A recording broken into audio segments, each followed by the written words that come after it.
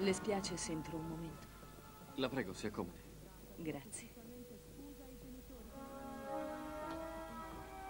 Scusi solo un attimo. Tesoro, pare proprio che io debba affrontare un altro incontro d'affari. Credo sia meglio ti fermi lì fino a domattina. Alla tv parlavano di slabini di fango sulla 405. Non vorrei dovermi preoccupare che tu vada fuori di testa.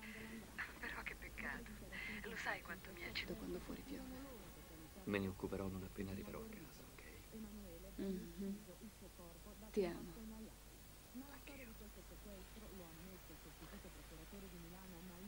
Allora, dottoressa Archer, che posso fare per lei?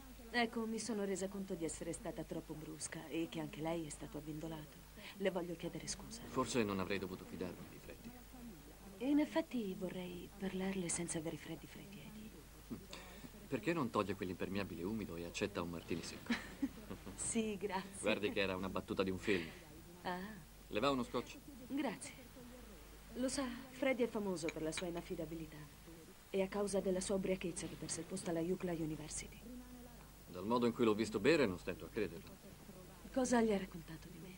Beh, che un suo caro amico ha tentato di ucciderla e, e che lei gli ha sparato per autodifesa. Una scena simile si è ripetuta un anno dopo, quando lei è andata a lavorare ad una stazione radio e, e un suo ex fidanzato ha tentato di ucciderla e la polizia gli ha sparato. E lo ha freddato.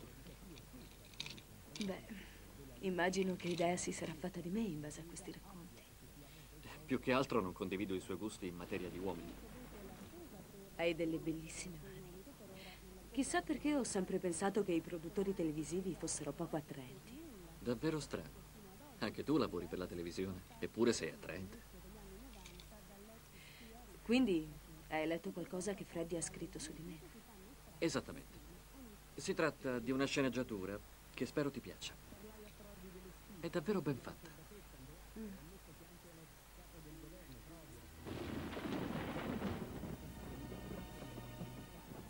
È impossibile mettersi in viaggio. Pensavo di tornare a Los Angeles, ma non credo che lo farò. Non con questa tempesta. Di che avete parlato dopo che sono andata via? Ho detto a Freddy di lasciar stare, di smetterla. È molto strano, detto da uno che è venuto fin qui solo per parlarmene. Era una buona idea, e se non fossi venuto io sarebbe venuto qualcun altro. Ma se tu sei contraria, non ho alcuna intenzione di convincerti. Deve essere saltato un contatore. Chissà quanto tempo ci vorrà prima che torni la luce. Non puoi metterti al volante con questo tempaccio. Ti prendo una stanza. No, non importa, ti ringrazio. Comunque dovrei aspettare che il temporale passi.